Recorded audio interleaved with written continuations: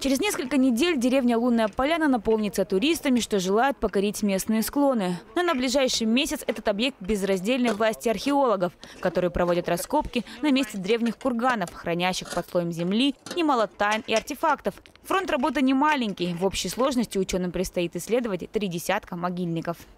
Все эти курганы, по нашим пока только предположениям, относятся к самому концу первого тысячелетия до нашей эры. А, все курганы, вот эти, это каменные курганы, это каменная насыпка над э, захоронением. В любом случае курган это, как правило, все-таки э, могила или несколько могил. Бывает в одном кургане две или три могилы. Вот, мы надеемся, что мы все-таки, несмотря на суровые погодные условия, мы все-таки успеем, уложимся в сроки, не задержим строительство. Работают археологи каждый день практически до темноты. Условия признаются тяжелые. Холод, промерзшая земля и большие камни. Чтобы снять верхний слой грунта, пришлось нанимать экскаватор. Остальное копают вручную, расчищая землю с ювелирной аккуратностью.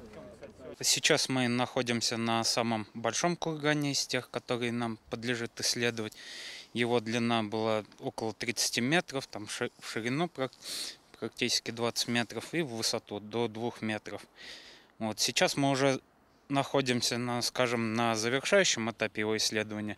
Исследуются бровки, которые были изначально наставлены для стратиграфии, для определения слоев формирования этого кургана. После исследования бровок мы планируем уже уходить на подкурганные конструкции и надеемся найти уже основное погребение, ради которого эта вся конструкция возводилась.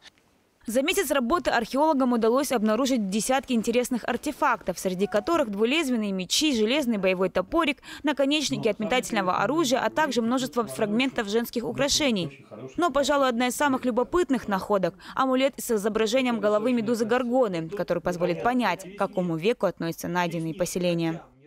Все это дало мне понять, э, что, в принципе, все, весь, этот, весь этот набор инвентаря – как раз э, говорит о том, что, скорее всего, вот это погребение относится к самому концу третьего века, возможно, второй, ну и, возможно, там начало э, первого века до нашей эры. Вот это все не рядовое захоронение. Это не царь, это не князь, это не вождь, но это не рядовой человек, который, которому это все положили.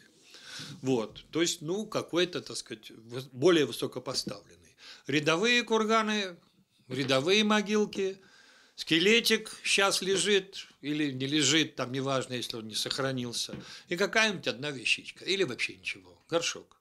С найденными артефактами еще предстоит много работать, но в итоге после реставрации все они будут переданы в Государственный музей Карачаева-Черкесии. Археологи надеются, что раскоп еще преподнесет им немало сюрпризов, тем более, что работать здесь они будут до середины декабря. Дарья Назарова, Айвар Барануков, Архиз 24.